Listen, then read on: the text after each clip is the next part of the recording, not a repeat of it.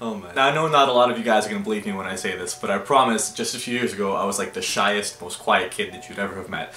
Now I'm gonna go ahead and tell my most embarrassing secrets to the internet, uh, so it's funny how life works sometimes. okay, let's take it from the top. How's it going everyone? Welcome back to the channel. Hopefully you guys are having a great day so far. My name's Gianluca and I'm a first year Canadian medical student. Now normally I'll get a new video out on the channel about once per week, but every now and then I get one of these questions either in my comment section or on my Instagram page, and I feel like it'd just be a great opportunity for me to try and answer them, because they might be able to help some people out. Now that's gonna go ahead and bring us to the topic of today's video, because very recently I was actually asked by a few different students uh, regarding the question of whether or not you could go to medical school if you're scared of blood or needles or you're just a little bit squeamish when it comes to this type of stuff. So I thought I'd go ahead and give my most embarrassing story as a medical student uh, to some of you that might be in a similar situation and then I'll offer a little bit of advice at the end for those of you that might need it. So what we need to do first kind of go back in time about a year from now uh, to when I was first accepted into medical school. This is about a year ago from this date right now. And when you first get accepted into medical school, for those of you that don't know, one of the very first things that you need to do is run through all the paperwork. You have to get your police check-in,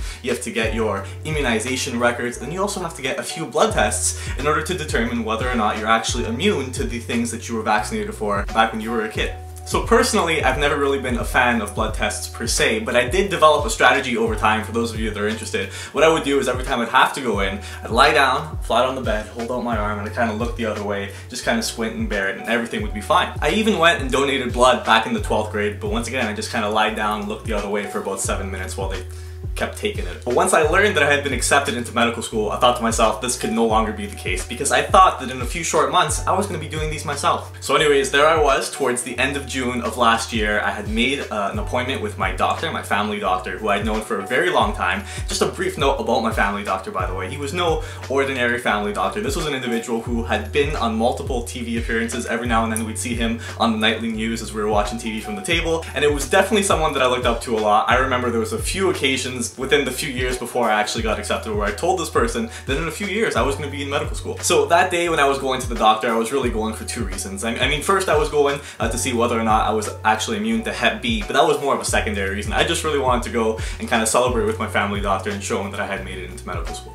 There was just a little hiccup though. Uh, for those of you that don't know, I actually used to work as a lifeguard and a swim instructor, uh, which means that I actually got really, really sick about twice per year. That's once in the summertime and once in the wintertime, and oftentimes I could trace it back to the exact kid that had actually gotten me sick. We'd go and do our cute little uh, blowing bubbles exercise and we'd come back up and the kid would sneeze in my face and I knew right away that I was about to get really sick. So for about a week before my actual doctor visit, I had the mother of all man colds, right? I was in bed uh, pretty much all day for a week and I was just really feeling sore. I wasn't drinking a lot of water, I wasn't eating a lot of food, but I didn't think a lot of it at the time. Uh, so I just got in my car and I went off to the doctor's that morning. So now I'm at the doctor's appointment, I meet my family doctor, he says hi, gives me a high five, says congratulations, all that stuff. It was a good moment for a little bit.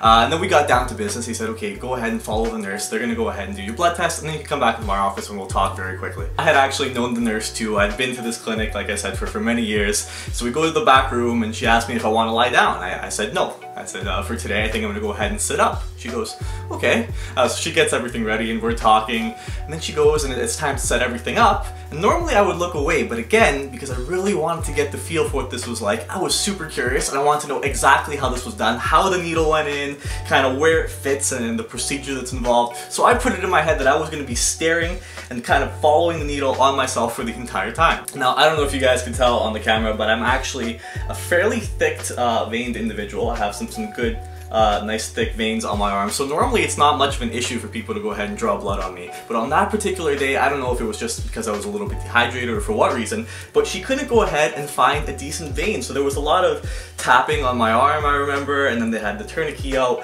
uh, or she had the tourniquet out trying to get a nice vein to stand up to the top. And finally she went ahead and found one. Just all the touching, I already didn't kind of like that. I was already in the wrong mindset for it. Okay, so now she's found the vein, it's all good, it's up at the top, and she's going in with the needle nice and slowly I remember her puncturing it going inside and then slowly I could feel just kind of like this weakness coming over me, like I was getting tired. And then the vision from the side started getting darker and darker and I kept trying to fight it because I knew what was going on but I wanted to keep watching. I remember the last thing that happened I just went, oh no, and I went to sleep. Now, for those of you that have ever had an experience like this or you're wondering what was going on, basically I'm going to go ahead and just simplify very quickly. This is known as a vasovagal syncopal reflex, where what happens is um, your body realizes that, or it thinks that it's in a situation where it's losing a lot of blood.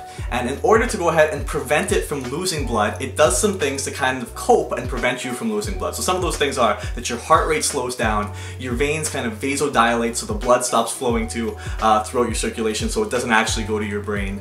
Um, and then a lot of times, as a result, you end up passing out. Now remember, I was sitting up. When you pass out and you're lying down on the floor, your body is now in a different plane. So you don't have the gravity pushing down on you, and the blood flows a lot more easily, and then eventually you wake back up. And that was exactly what happened to me. Eventually I woke back up and I had the nurse and the doctor there looking back at me, and they had given me uh, a cup full of some like sugary orange drink to drink and feel better. And I realized I put two and two together and, and found out that I had actually passed out um, on my first blood test, basically as a medical student, right in front of the doctor that I really wanted to show off that I had now gotten into medical school. Now I hope a lot of you guys can go ahead and actually understand just how embarrassing this was for me at the time, but I thought I'd go ahead and share it here today, uh, just letting some other people know that if this does happen to you, you're not the only one that it's ever actually happened to. So back to the original question of can you be in medical school if you are the type of person that's ever passed out at the sight of blood or if you're just a little bit squeamish, I guess the answer by default is yes, because not only am I here, but I'm not leaving anytime soon. And it's actually really funny how things worked out because the results of my blood test showed that I actually wasn't immune to Hep B. And as a result, I had to take a few more vaccinations over the course of the year and I had to go for at least another five to six blood tests, um, which gave me lots of time to improve my tolerance of it. So my advice to everyone, if this is you and you want to go ahead and increase your tolerance when it comes to these types of things, you still want to pursue medicine, I would say you could 100% still do medicine. And one of the things that I did, if any of you have seen my CARS videos in the past, I kind of used that thing and actually I used the concept of progressive overload overload a lot in my life. But what I did was I started off slow. The very next time I went for a blood test, first of all, before then, I had actually gone on the internet uh, and I started doing things like looking up pictures, looking up videos of how things are done, seeing the anatomy, uh, seeing tutorials on how the phlebotomy is actually taught, and really understanding the science behind it. Then I would gradually build it up. Start off with blood tests and then you look up different videos. YouTube is really great for all these gross videos if you really want to see them. And you gradually and slowly build up your tolerance to these types of things. Next time I had to go in and give blood, I tried lying down and looking at it because like this, at least there was less gravity pushing down against the circulation.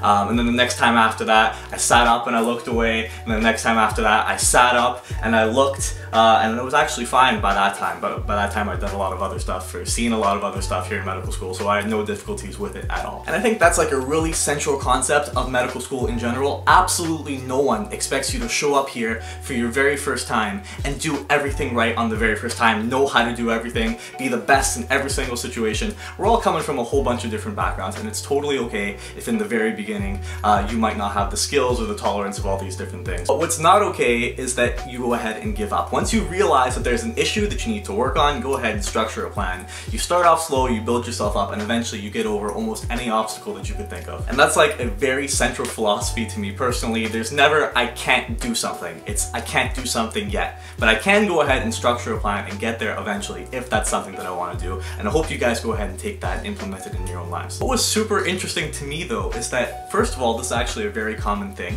uh, and people have different triggers. When I spoke to some of the other students in my class, people told me that they've had similar experiences. And then when I actually went on to the surgical unit and spoke with some of the surgeons, some of the nurses, there's lots of stories of students actually passing out in the middle of surgery or surgeons passing out in the middle of surgery because in addition to a lot of the sights that you see in surgery, there's also a lot of smells that people don't tell you about. And those could be just as triggering um, as, as, some of the sights in medicine. And I mean, what I still don't understand is that I am totally fine in the anatomy lab. We've done cadaver dissections, seeing the different specimens, holding them. I went into the surgery ward and I was briefed by some of the surgeons there that this is the spot in the surgery room where, you know, if the med student starts feeling a little bit dizzy, you go there because we don't want you falling on top of the patient. And I remember when they asked me, like, have you ever been queasy in terms of medical things before? Just of kind of played my cool. I was like, no, never. Totally good with this stuff. But the whole time, I was very aware of myself. But being in there, it was just so interesting. I didn't have even the slightest inclination to, to even remember what it was like to pass out. But yeah, that's pretty much all that I gotta say. Once you guys get to medical school or medicine, or maybe you're there now already, you're gonna see that there's gonna be a lot of different experiences that you're having for the first time.